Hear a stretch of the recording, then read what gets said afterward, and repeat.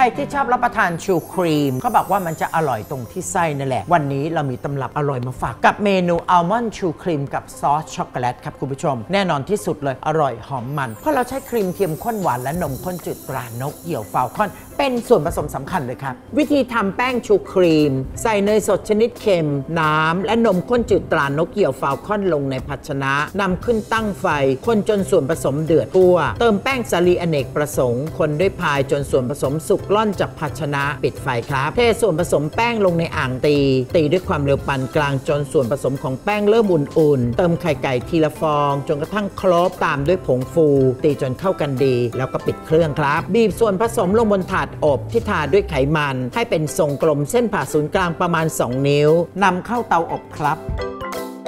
วิธีทำไส้ครีมอัลมอนด์ละลายเจลาตินกับน้ำร้อนเข้าด้วยกันพักไว้ ผสมแป้งข้าวโพด เกลือป่นเสริมไอโอดีน ครีมเทียมข้นหวานตรานกเหยี่ยวฟาลคอน และนมข้นจืดตรานกเหยี่ยวฟาลคอนลงในภาชนะ คนผสมให้เข้ากันนำขึ้นตั้งไฟ คนตลอดเวลาจนส่วนผสมสุกข้น ปิดไฟ เติมเนยสดชนิดเค็มอัลมอนด์อบสุกบดละเอียด และเจลาตินที่ละลายไว้ คนจนเป็นเนื้อเดียวกัน พักส่วนผสมนี้ไว้จนกระทั่งเย็นสนิทนะครับคนตะล่อมคัสตาร์ดกับวิปปิ้งครีมีมที่ตีฟูจนเข้ากัน เตรียมไว้เป็นไส้นะครับ วิธีทำซอสช็อกโกแลตคนผสมผงโกโก้กับน้ำมันพืชเข้าด้วยกัน ผสมโกโก้ที่ละลายไว้กับครีมเทียมข้นหวานตรานกเหยี่ยวฟาลคอน จนเป็นเนื้อเดียวกันเตรียมไว้ วิธีประกอบครับหั่นครึ่งชูครีมที่อบเตรียมไว้ บีบด้วยไส้ครีมอัลมอนด์ตรงกลาง วางประกบด้วยชูครีมอีกส่วน จัดชูครีมไส้ครีมอัลมอนด์ลงจานเสิร์ฟ ตกแต่งให้สวยงามทานคู่กับซอสช็อกโกแลตนะครับ คุณผู้ชมสามารถติดตามสูตรความอร่อยและความรู้มากมายได้ที่